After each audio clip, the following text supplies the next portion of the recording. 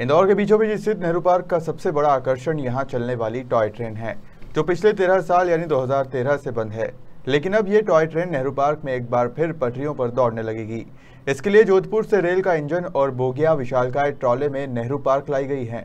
इसका trial run सोमवार मंगलवार को किया जाएगा। ट्रायल रन ठीक से रहने पर इस माह के अंत से टॉय ट्रेन को बच्चों के लिए शुरू किया जाएगा। बच्चों के लिए इसका किराया पचास रुपए से अधिक नहीं रखा जाएगा, ताकि ज़्यादा से ज़्यादा बच्चे इसमें बैठ सके। मध्य प्रदेश में जारी बारिश, ओले, आंधी का दौर अगले दो दिन भी रहेगा। रविवार को भोपाल, उज्जैन, नर्मदापुरम समेत प्रदेश के सत्रह जिलों में तेज आंधी चलने और बारिश की संभावना है।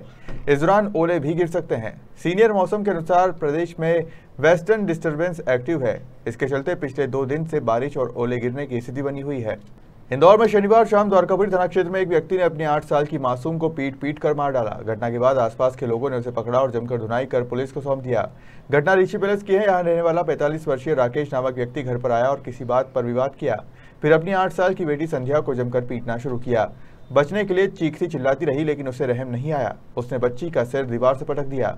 मारपीट में लड़की लहूलुहान हो गई। शोर सुनकर आसपास के लोग मौके पर पहुँचे तो वह बेटी को कंधे पर उठाकर ले जाने लगा जिसके बाद लोगों ने उसे पकड़ लिया।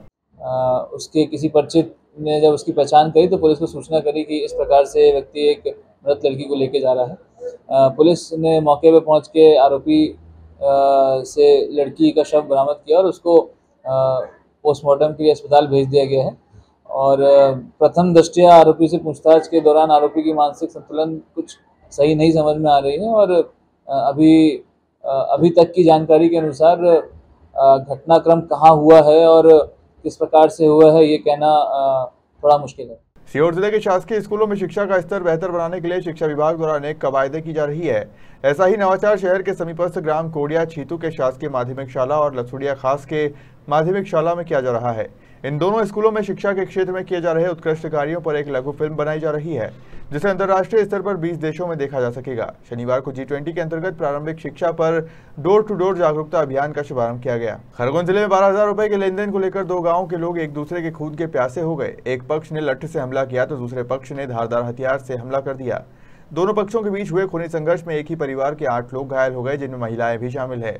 जिला मुख्यालय से 16 किलोमीटर दूर उन थाना इलाके की यह घटना है। यहाँ मोटापुरा गाँव में केवल बारह हज़ार रुपए के लेन देन को लेकर लोनारा और मोटापुरा गाँव के रिश्तेदार आपस में भिड़ गए।